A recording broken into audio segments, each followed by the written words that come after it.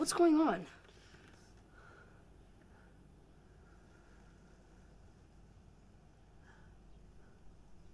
Your friend Leslie is dead. She drowned in a creek this morning. I'm sorry, son.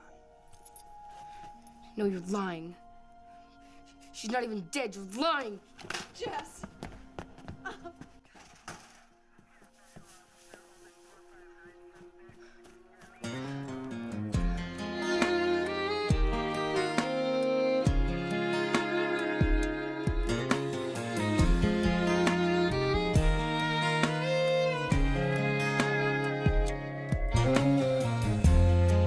can take the rain on the roof of this empty house. That don't bother me. I can take a few tears now and then and just let them out.